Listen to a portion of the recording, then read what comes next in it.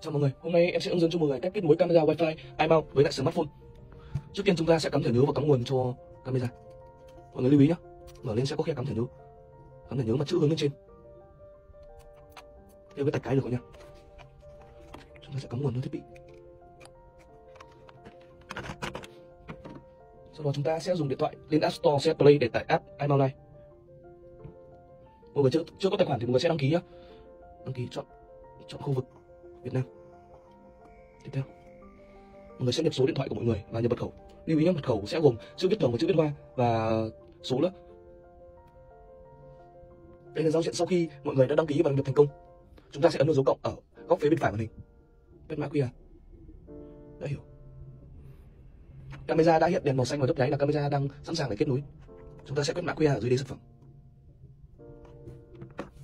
Tiếp theo. Tiếp theo. Kết nối đây là wifi của camera nhé. Chúng ta sẽ phải đợi một lúc để camera kết nối. Chúng ta sẽ chọn wifi ở nhà mình.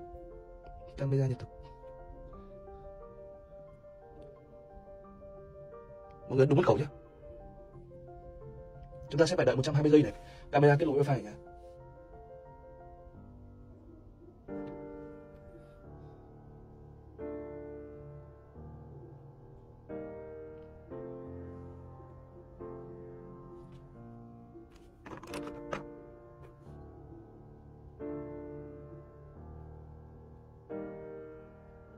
Sau khi kết nối xong, chúng ta sẽ lựa chọn vị trí của camera. Chính là cửa trước đi. Quốc gia và khu vực. Múi giờ thứ bảy Hồ Chí Minh. yeah. Xong. Camera đã kết nối thành công rồi mọi người ạ. Mình sẽ vào xem thử nhá.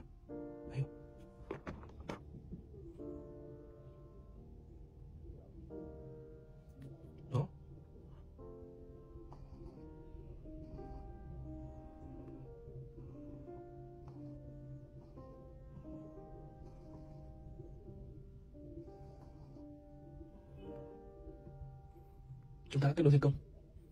Vừa rồi là video mình hướng dẫn cho mọi người cách kết nối camera wifi với lại smartphone cho mọi người.